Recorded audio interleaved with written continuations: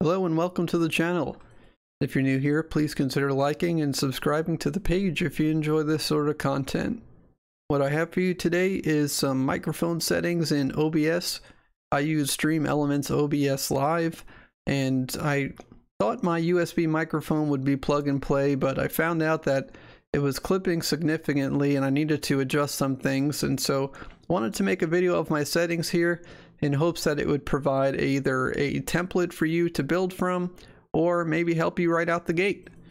So let's dive into it. First, you're going to right click on speakers and open your sound settings. You'll go over to input and confirm that your microphone is selected. The one that you want to use at least is, is selected here and you see it showing on the equalizer. Then we're going to select device properties and adjust the volume here. So by default, mine was set at 100 and it was causing my microphone to clip significantly, even though I don't have a very loud voice. So I had to pull this volume down to 75 and that works well for me. You may even need to go lower depending on how loud your voice is. Next, we're going to hop into OBS. So Again, I'm using Stream Elements OBS Live.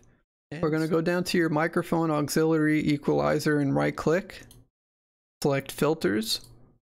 And this is where we're going to add some audio filters to help balance out the sounds. And so some benefits of doing this is going to help cut out things like your keyboard and a fan maybe going in the background or someone talking like a family member in another room or if you have like an AC running, it'll cut out some of those background sounds and only focus on your voice. I'll, show you, I'll demonstrate them here by turning off the audio filters and letting you hear it. So now I've turned off the audio filters and you see that I'm clipping. And so I'm getting into the red here. And so generally you want to try to get to as close to the red without going over. And so if you stay in this range, you're, you're usually okay. But now I'm clipping significantly if I stop talking, you can probably see the fan get picked up on the equalizer.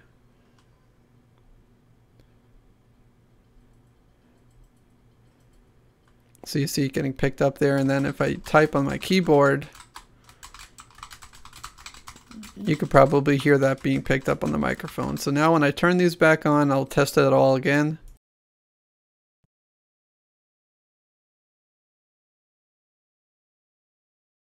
So I was just typing on my keyboard and letting the fan run and you'll see that there's nothing being picked up.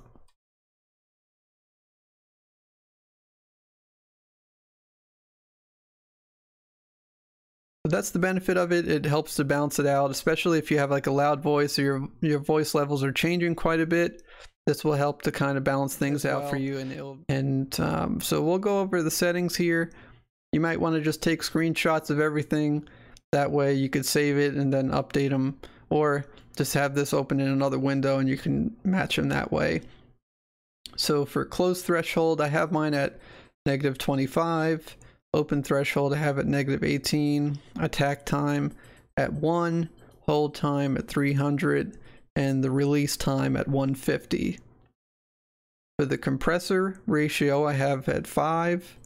Threshold is at negative 21.8 attack is at 1, release is at 100, and the output gain is at 4.20 or 4.2. This is one area, especially if you have a louder voice, you might not need as much output gain as I use, so you might want to adjust that first. I don't use anything for the sidechain ducking source.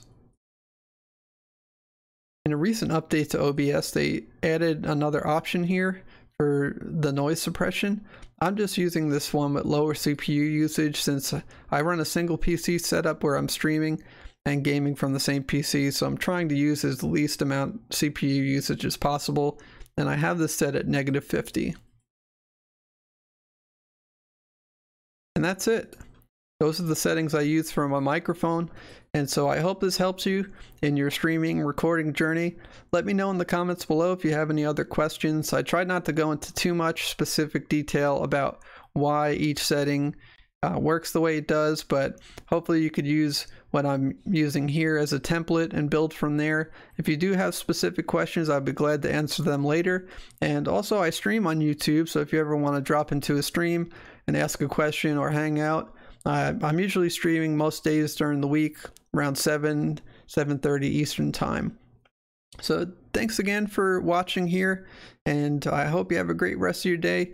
Again, like and subscribe to the channel if you enjoyed the video, and we'll catch you on the next one.